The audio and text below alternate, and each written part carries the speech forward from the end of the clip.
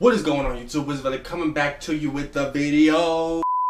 So apparently a 38 year old Thai man was bitten on his penis by a 10 foot python while taking a shit. Now first of all, what the fuck?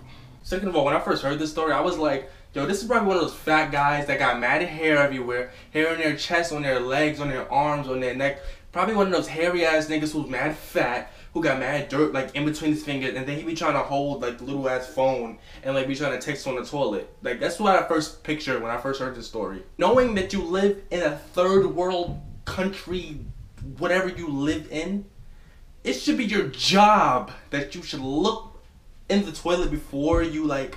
I don't know where this toilet was at or like if this was an outhouse thing, but like Thai, like I don't even know where Thai is or what's good with but listen, I feel for you. I feel for you because when my stomach hurts, listen, I gotta go. I think that I have like some type of gene in my body that like makes your stomach hurt because listen, my mother's stomach hurt all the time. Like, I, this is a sign note, but like every time she goes to the bathroom, she blows it up. She goes take a shit, blows it up. She goes to pee, blows it up. How in the hell do you go to so somebody, somebody let me know because never have I went to pee and I still blew the bathroom up the worst part about the entire situation with my mother and our genes and all that is that when she goes to the bathroom, she don't even close the door. She literally goes to the bathroom, leaves the door open, like for air purposes, circulation. Like I don't even know. Y'all need to call her and ask about that because I have no clue what's going on with that entire situation. Back to this stupid nigga, like, like, what is this shit about again?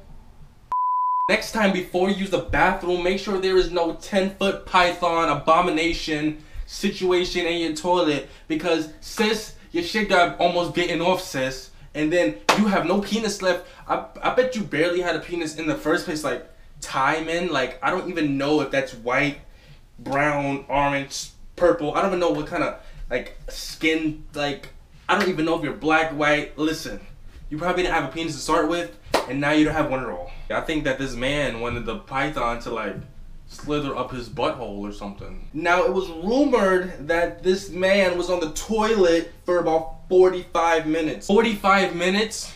Who goes to the bathroom for 45 minutes?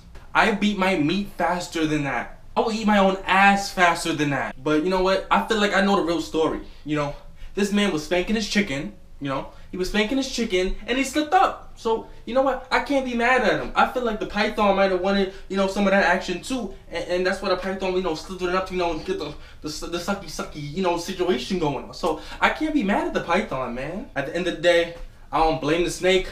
I blame the man because he sat there for 45 minutes and he thought he knew that it was a python in the damn outhouse or the bathroom or whatever he was taking a shit at and he let it sit there and slither up his butthole and let it grab his penis.